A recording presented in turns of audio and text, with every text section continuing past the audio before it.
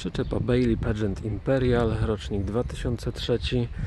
DMC tej przyczepy 1191 kg. Dodatkowo wyposażona jest, jak widać, w mover, którym można sobie zdalnie sterować bez udziału samochodu. I wchodzimy do środka.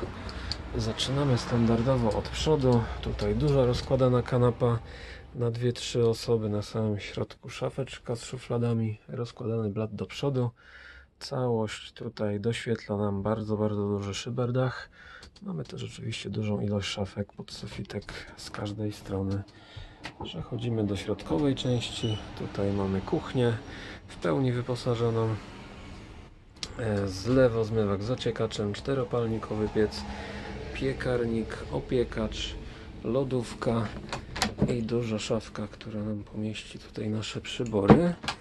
A naprzeciwko bardzo, bardzo duży blat pomocniczy i też duża ilość szuflad. A pod nimi mamy grzejnik. Grzejnik zasilany elektrycznie bądź na gaz do wyboru. Przechodzimy na sam tył.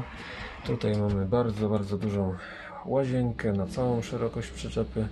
Sedes, duża ilość szaf, w tym duża garderobiana. Z lewo zmywak i co najważniejsze, całkowicie osobna kabina prysznicowa. Przyczepka nieduża rozmiarem, ale bardzo, bardzo pojemna. Ładna, zadbana tapicerka w żywych kolorach. Zapraszamy do oglądania na żywo. Kołam Gemping.